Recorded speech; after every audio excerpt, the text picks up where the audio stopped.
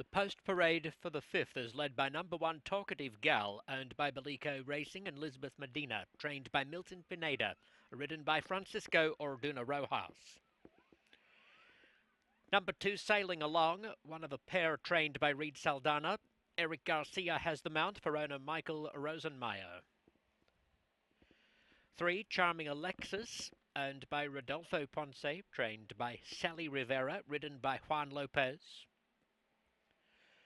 Four, Loud Fusaichi, owned by Lester Hansacker, conditioned by Brian Cunningham and ridden by Diego Herrera. Number five, Aunt Opal, raced jointly by trainer Sergio Morfin and Josue Quintero.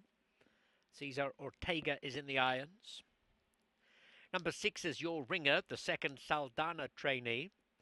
This filly is owned by Jesus Alfredo Figueroa. The rider is Serapio Figueroa. They're ready. Racing! Talkative Gal has lost the jockey leaving the gate. Aunt Opal quickly off. Leads narrowly, taken on by Loud Fusaichi. Then comes Charming Alexis on the inside, shaded by your ringer. Your ringer into a clear third.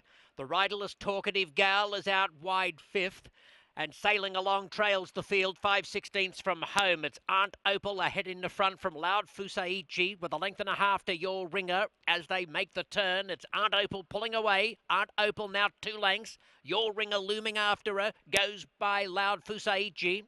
Back in fourth position, Charming Alexis from Sailing Along. They're in the stretch, led by Aunt Opal. Your Ringer is mounting a challenge on the outside, draws within a neck. It's Aunt Opal confronted by Your Ringer. Your Ringer putting the head in front. A sporadically raced but talented filly. Your Ringer gets up to beat Aunt Opal with Sailing Along third, then Loud.